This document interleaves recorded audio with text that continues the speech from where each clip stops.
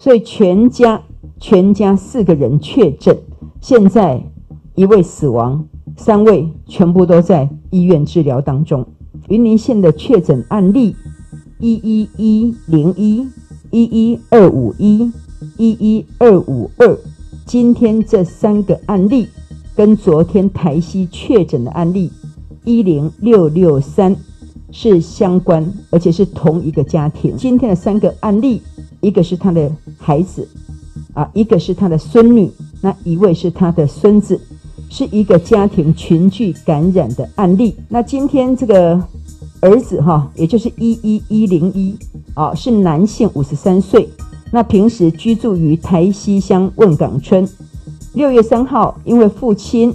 确诊，匡列居家隔离。并接受裁剪，六月四号裁剪结果阳性，六月五号确诊，那目前在医院治疗中。那按一一二五一男性十三岁，按一一二五二女性十五岁，两人平时居住于台西乡的文港村。六月三号因为祖父确诊，匡列居家隔离并接受裁剪，六月四号裁剪结果阳性。六月五号确诊，那目前也在医院治疗中。这三个跟昨天的啊案例是同一个家庭，所以全家全家四个人确诊，现在一位死亡，三位全部都在医院治疗当中。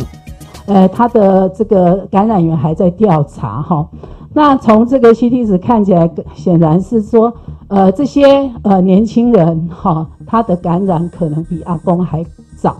哈，可能比阿公还早，只是因为他比较年轻，哈，那没有症状，那所以目前我们也是在调查哈，因为呃，据我们了解，他还有另外一个孙子哈，呃，